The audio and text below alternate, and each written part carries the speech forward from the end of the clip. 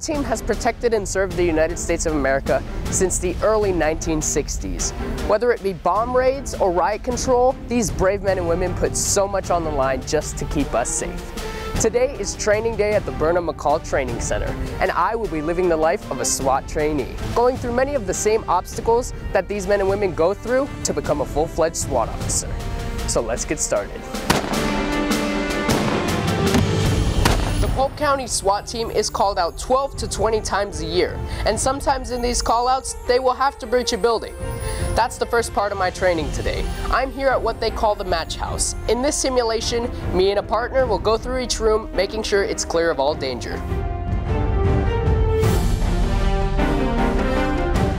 Suspect down!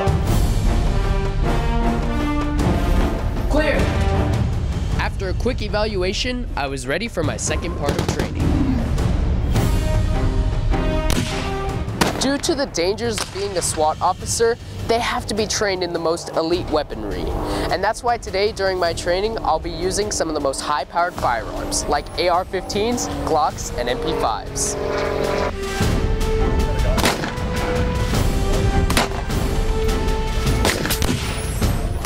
SWAT officers often find themselves in unpredictable situations, like rappelling off a three-story building.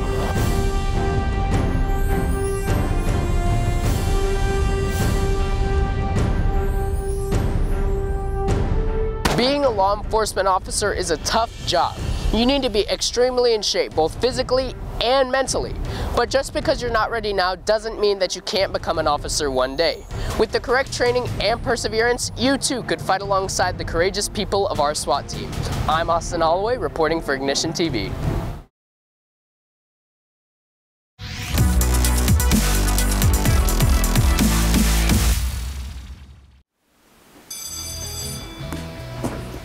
Being a high schooler is no easy task. Sometimes all the aspects can be overwhelming. Struggles among high school students include many things. Things like classwork, extracurricular activities, and even just getting through the day. It may seem like a lot, but I promise you, you can do it. I'm Austin Holloway and I'll be your high school survival guide. Let's get started.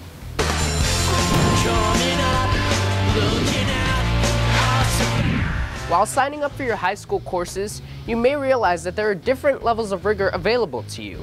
Words like AP and honors may seem daunting, but that leads me to tip number one. If you're up to the challenge, challenge yourself academically with a higher level course.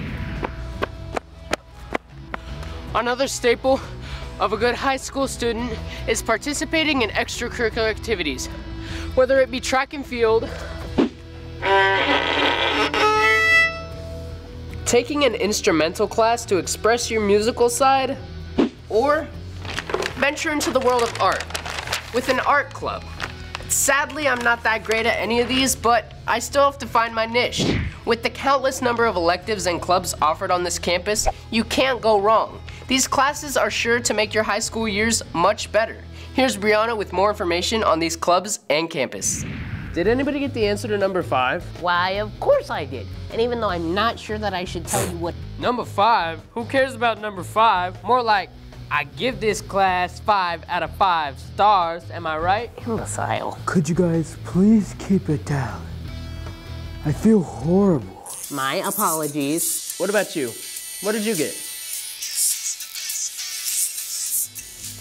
That's another thing that you need to know about high school. Everybody's different. Some people you may like and some you may not. But that's tip number three.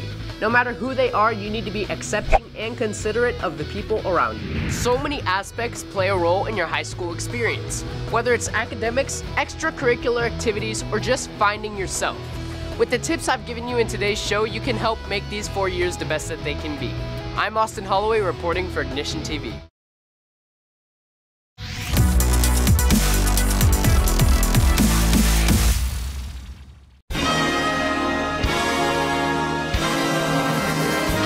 1885, George Eastman developed the first celluloid roll film. And little did he know that in no time at all, this would become a multi-billion dollar industry.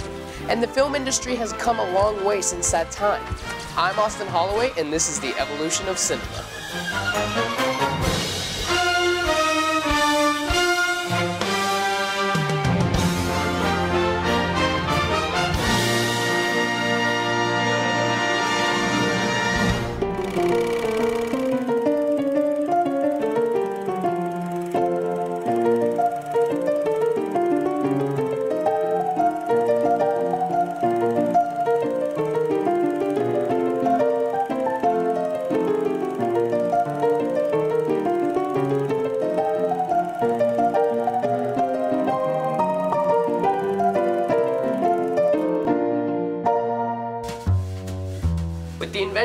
Audio films came the American noir era.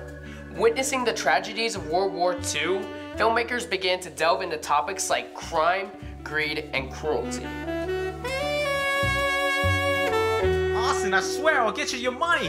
I, I just need a little bit more time. The 1970s began a new season of film, commonly known as the science fiction era.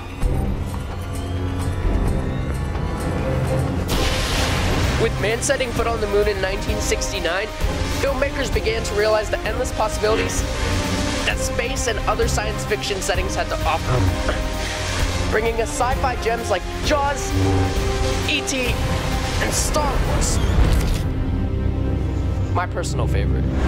As technology evolved and more possibilities became realities, the blockbuster era came into play and brought us to where we are today. The term quickly became a staple in the film industry, meaning a high budget production that brings in big bucks. The beginning of the blockbuster era brought us classics like Top Gun, Back to the Future, and Indiana Jones.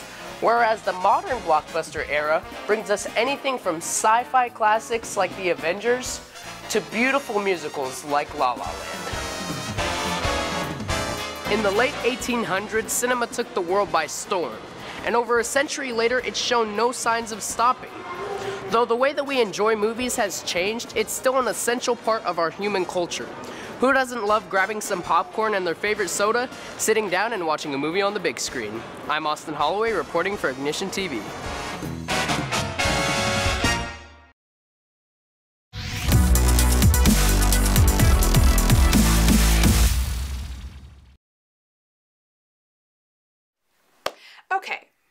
So you're about to graduate, and this meeting is to make sure you're ready for what's next. You mean college? No more classes that I don't have to take. A lot more parties. Moving in with my best friends. This is going to be the best four years of my life. Oops, looks like someone doesn't know a thing about college. Who are you? I'm Austin, and I'm here to ruin everything.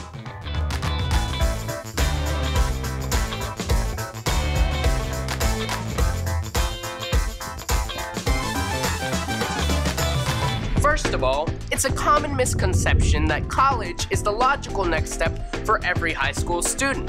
Though 65.9% of high schoolers do go on to attend college, the other 34.1% take different paths, like joining the workforce directly or going to a trade school to learn their craft. I'm not ready for the real world. I have to go. Go to college? You're right. This one looks good. Let's go. How you do that? Welcome to college, Kyle. The place where you'll spend the next four, five, six, maybe 30 years of your life. Whoa, whoa, whoa, whoa. Whatever happened to four? Next misconception, my friend. 58% of college students spend six or more years trying to get their degree, so prepare yourself. You might be here for a while. That's fine. As long as I have my buddies around, we are going to throw the best parties. It's gonna be lit. Parties like this?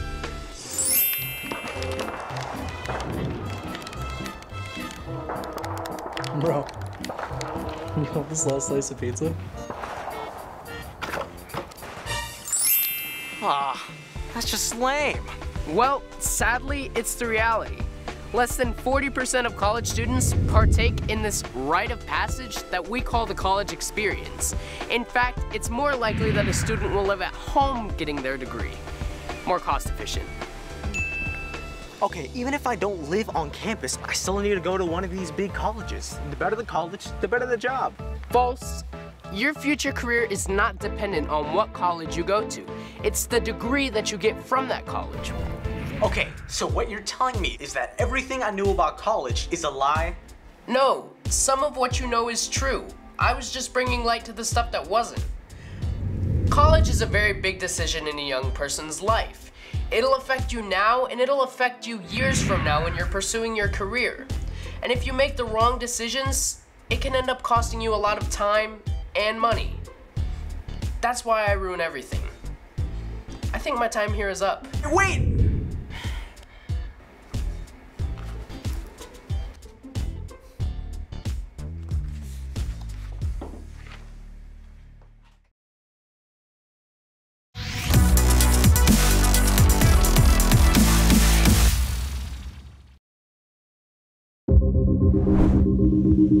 Space travel has been a major part of American history since 1958, when the National Aeronautics and Space Administration was formed. Today, I'm here at Kennedy Space Center to learn a little bit more about worlds unknown, so let's get started. If the possibility of exploring the red planet interests you, then the Visitor Center's Journey to Mars is the trek for you.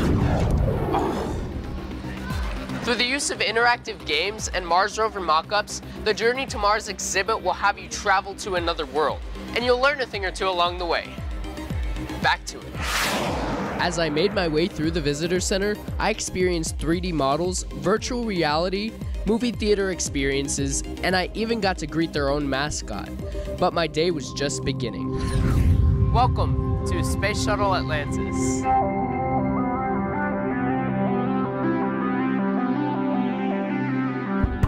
45 minute long Space Shuttle Atlantis exhibition takes you through the story of NASA's 30 year long Space Shuttle program and tales from expeditions that actually happened on Space Shuttle Atlantis.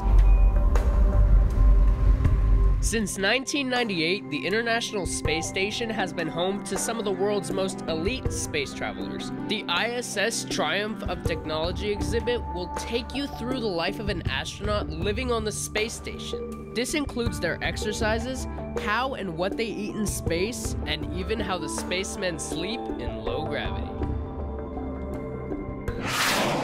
The Visitors Complex has been serving up intergalactic fun to Florida residents and tourists since 1967. Whether it be trying astronauts' food or running with rovers, these are out of this world experiences that you won't get anywhere else.